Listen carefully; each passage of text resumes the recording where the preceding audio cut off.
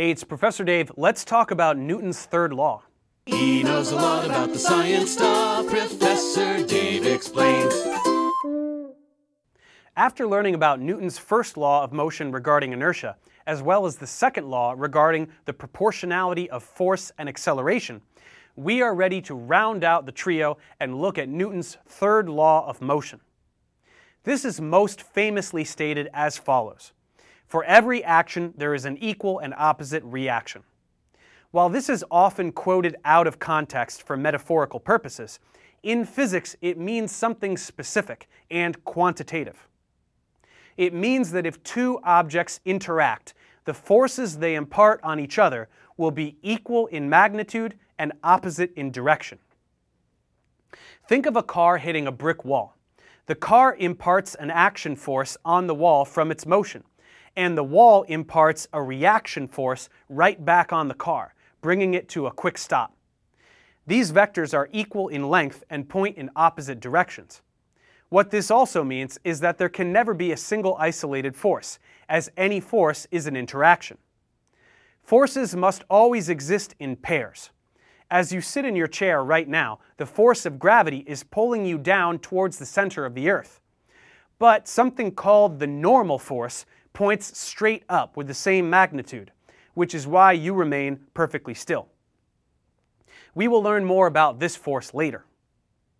The third law can sometimes be confusing because it would seem to imply that no object could ever move, since any force accelerating an object must be paired with another in the opposite direction.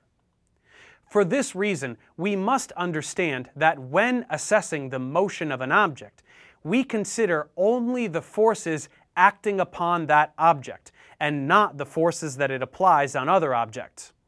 When hammering a nail into a piece of wood, the hammer imparts force onto the nail, and the nail imparts force onto the hammer. But the nail is driven into the wood because there is a net force acting upon the nail from the motion of the hammer. Likewise, the hammer has two forces operating upon it the downward force from your arm and the upward force from the nail. That's why when you strike the nail, the hammer stops moving at roughly the location where the impact occurs. So if we are looking at the nail, we only consider the forces acting on the nail. If looking at the hammer, we only consider the forces acting on the hammer. These are different systems, and this is the context in which the third law is best understood. Let's look at another example. When a rock falls to the ground, the gravitational force from the Earth causes the object to accelerate towards the Earth, but it is also the case that the Earth is accelerating towards the rock. This must be true according to the third law. Of course, we don't notice this in everyday experience because the acceleration of each object is inversely proportional to its mass. The rock is very light, so the rock accelerates quickly. The Earth is very heavy, so Earth's acceleration is completely negligible. This may seem a bit abstract, but it is important to be able to rationalize forces in this way.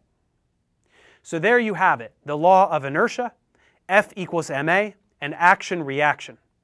That wraps up our discussion of Newton's laws of motion. So let's check comprehension.